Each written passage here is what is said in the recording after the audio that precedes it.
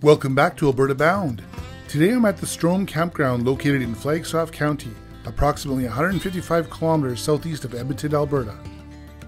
This campground offers 25 non-service sites and is located at the northwest edge of Strome. Picnic tables and fire pits are included and is on a first come first served basis. There are garbage cans scattered across the campground. Recycle bins are also conveniently placed for visitors.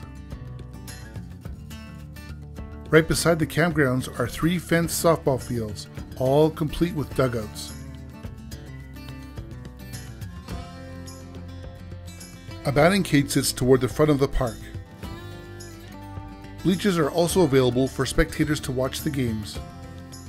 A large playground with multiple swing sets are off to the side. A tire swing along with picnic tables and other small playground equipment are located on a gravel pad.